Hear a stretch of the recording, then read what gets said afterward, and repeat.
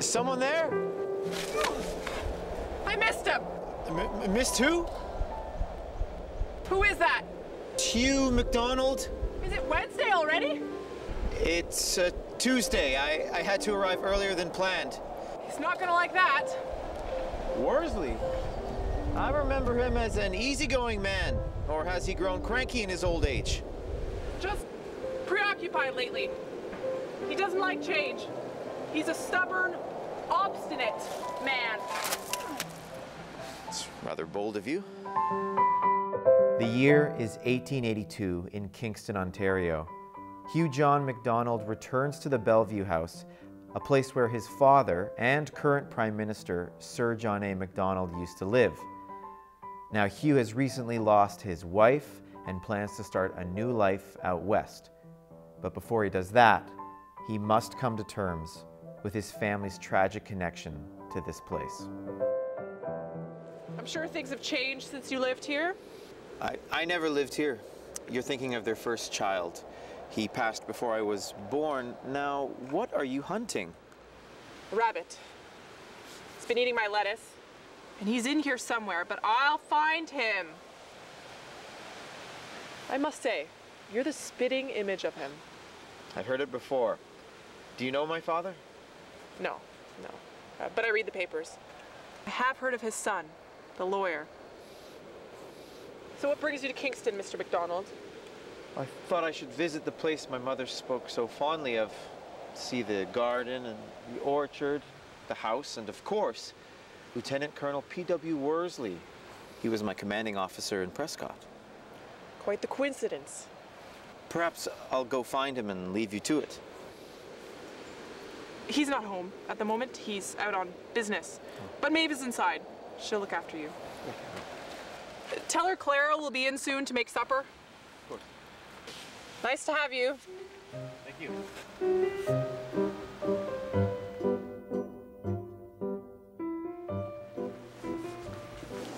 Welcome. Uh, have we met before? Yes. I didn't expect you to remember. We played outside. Archers on the north lawn. You were a terrible shot. You lived here with your mother. and She was my mother's maid. Yes, Hannah. Hannah and Mary. Maeve. Maeve. Yes, your Aunt Margaret brought you by just the once to show you the house where your parents had lived before you all moved to Toronto. And you hid under her skirts until mine brought out a tray of cookies.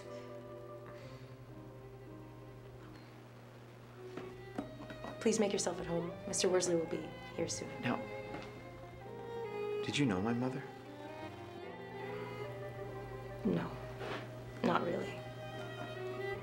Although mine did several portraits of her, which I became somewhat fixated on as a girl. She was very beautiful.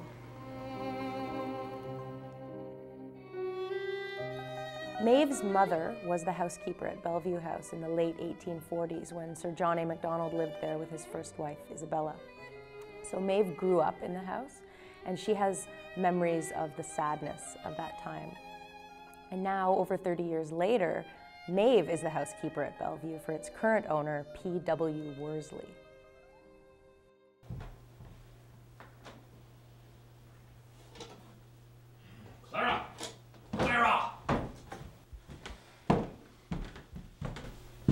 Maeve. Mr. Worsley, we have a guest. Did we not have a set of china? Green? Another one! Two sets! You think I'm a fool? No, sir. I, I can't find the other one? Not upstairs, anyway? Are you sure? you Remember, sir, we've looked high and low. As I mentioned, sir, we have a guest. What? Who's here? Hugh. Who? Hugh John. What? Hugh John MacDonald. He's upstairs. No, he's not. You're right, it's Wednesday. Is it Wednesday already? No, Mr. MacDonald arrived ahead of schedule. He'll be staying the night. I don't like that. Don't like that one bit. Well, he has arrived, and I've shown him to his room. Hmm.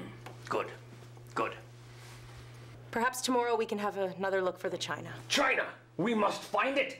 The bumbling appraiser wouldn't know it. Crystal vase from a chamber pot. Chamber pots?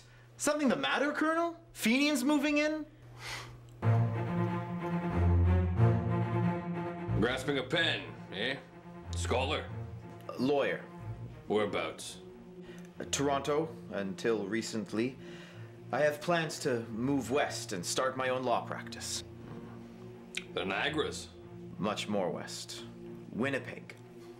Why on earth? A, a change of scenery, there's a sense of community there, excitement. High treason, rebellion, half-breed murderers. Not so. Not now. Since the expedition, a proper government. Uh, the Wolseley trek. You were there, weren't you?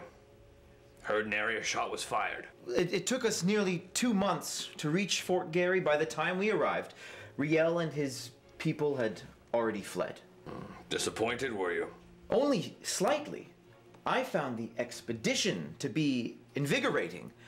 Camaraderie, adventure, time to breathe and think.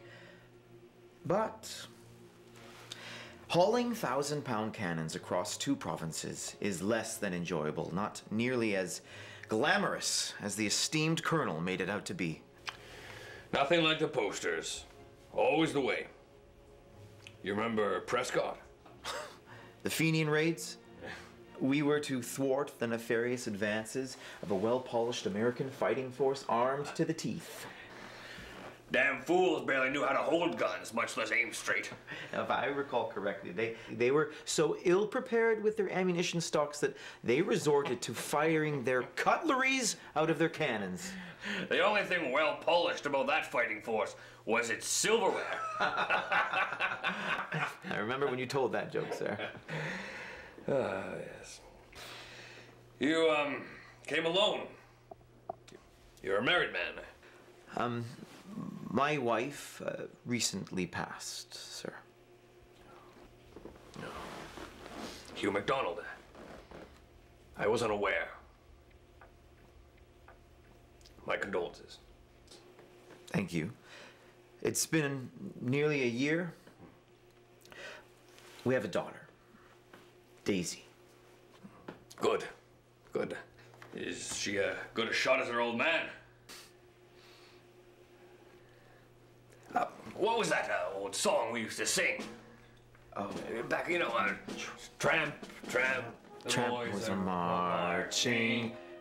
Come, trip, comrades, let them stay calm. And beneath the Union Jack, Clear up, comrades, let them come. We will drive the Fenians back, and we'll fight for our beloved Canadian home.